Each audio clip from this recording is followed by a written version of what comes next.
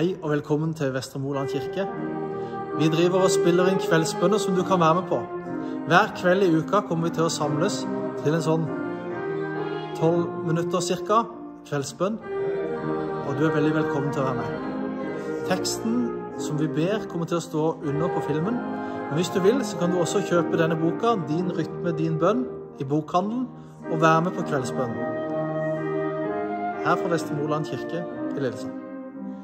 Velkommen.